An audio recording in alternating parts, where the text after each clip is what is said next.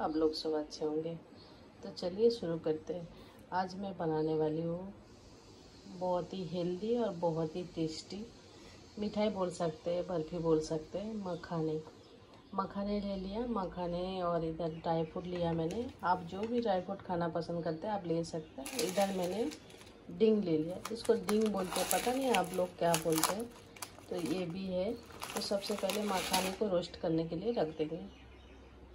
कढ़ाई चढ़ा दिया। सबसे पहले मखाने जो है, उसको रोस्ट कर लूँगी। इसमें घी वगैरह कुछ ऐड नहीं करूँगी मैं। ऐसे ही सूखा रोस्ट कर लेंगे।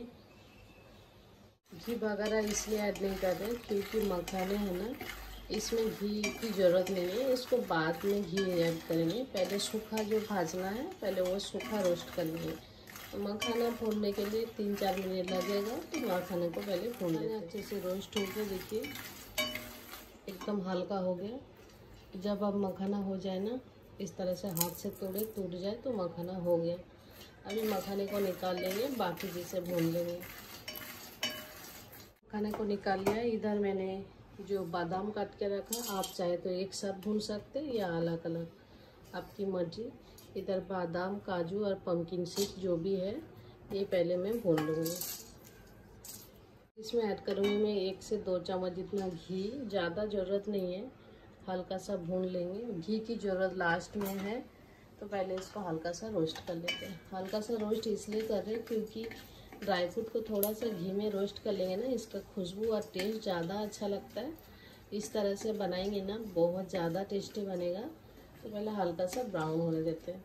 तो ड्राई फ्रूट अच्छे से भूनना हो गया ब्राउन हो गया। अभी मैं निकाल लूँगी। अभी जो सूखा नारियल काट के रखा, वो भून लेंगे। तो अभी जो सूखा नारियल है, ये थोड़ा सा भून लूँगी। इसमें मैं घी वगैरह ऐड नहीं करूँगी। नारियल भी अच्छे से ब्राउन हो गया, अभी निकाल लेंगे। इससे ज़्यादा ब्राउन नहीं करेंगे। अभी मैं इसमें ऐड करूँगी घी।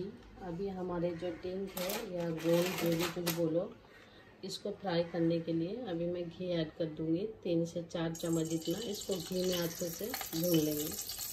घी अच्छे से गर्म हो गया। ये थोड़ा थोड़ा करके डालेंगे ज़्यादा नहीं। ये मैंने 100 ग्राम जितना लिया, इतना नहीं चाहिए। मैं 50 ग्राम जितना डालूँगी। इसको गैस को स्लो रखें और अच्छे से फूलने तक इसको अच्छे से भून लीजिए। डिंग भी हमारा अच्छे से गोल्डन ब्राउन हो गया। अभी निकाल लेंगे। कुछ अच्छे से भून के हो गया। मखाने को पहले मैं पीस लूँगी। और मीठे के लिए मैं इधर लिया खजूर। मीठा गुड़ या चीनी में कुछ भी ऐड नहीं करूँगी, इसको भी पीस लेंगे और मखाने को भी पीस लेंगे। पहले दोनों पीस के मैं रेडी कर लूँगी। मखाना मैंने इस तरह से पाउडर बना लिया। इधर मैंने खजूर में थोड़ी सी पानी ऐड किया। इसमें डाल लो पाँच छः इलायची के दाना। इसमें थोड़ी सी और मैं घुमा लूँगी मिक्सर में। बस मैंने गैस को ऑन कर दिया। अभी हमने जो खजूर को मिक्सी में घुमा लिया, उसको मैं थोड़ा सा गर्म कर लूँगी। क्योंकि हम गुड़ या चीनी कुछ भी ऐड नहीं कर रहे। तो इसको थोड़ा सा स्टिकीनेस आने के लिए थोड़ा पका लेंगे।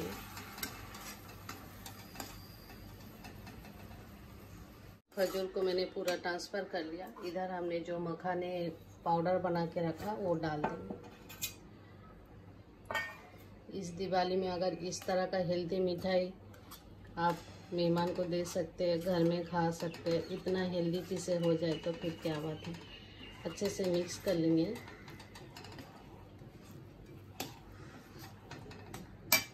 इसमें मैं ऐड करूँगी दो से तीन चम्मच मिल्क पाउडर मिल्क पाउडर डालने से ना मिठाई में एक बहुत अच्छा टेस्ट और फ्लेवर आएगा। अच्छे से मिक्स कर लेंगे। गैस को ऑफ़ कर देंगे। अभी इसमें मिक्स करने जैसा कुछ नहीं है। पहले नीचे उतार लेते हैं। जो हमने गोंद को फ्राई करके रखा, इसको मैं हाथ से ही तोड़ लूँगी। मिक्सी में नहीं, मिक्सी में करेंगे ना, फिर वो एकदम से पाउडर हो जाएगा, ऐसा नहीं चाहिए। थोड़ा सा मोटा मोटा रहेगा, चलेगा अच्छा लगेगा। इस तरह से हाथ से थोड़ा सा मैश कर लेंगे, ये हो जाता है पाउडर एकदम अच्छे से। ये हमने जो गोंद को भून के रखा, वो डाल देंगे। थोड़ी सी नारियल भी डाल देंगे। सब कुछ अच्छे से मिक्स कर लेंगे। इधर हमने जो ड्राई फ्रूट रखा वो भी डाल देंगे, पर ये लास्ट में थोड़ा सा चाहिए मुझे। तो पहले अच्छे से मिक्स कर लेंगे। क्या मस्त हमारा हेल्दी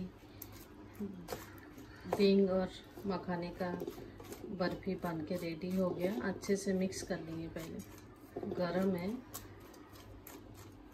हमारे मखाना और डिंग का लड्डू बर्फ़ी जो भी कुछ बोलो, अच्छे से मिक्स हो गया। अभी एक बर्तन में मैं ट्रांसफ़र कर लूँगी। अच्छे से ठंडा हो गया। अभी लड्डू का सेप दे दूँगी मैं।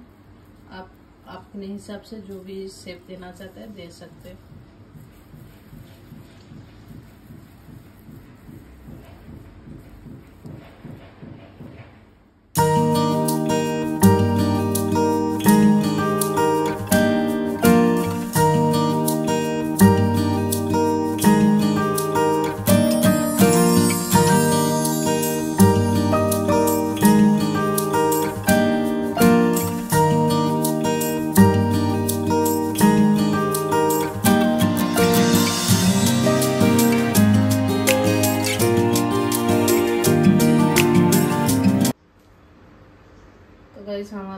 मखानी और डींग का लड्डू बन के रेडी हो गया। एकदम बहुत हेल्दी और बहुत टेस्टी और बिना गुड़, बिना चीनी का। तो रेसिपी आप लोगों को अच्छा लगे लाइक कमेंट सब्सक्राइब ज़रूर कीजिए। दोस्तों में शेयर कीजिए। कमेंट करके ज़रूर बताएगा वीडियो कैसा लग रहा है आज के लिए। बाय फिर मिलेगी नया वीडियो के साथ।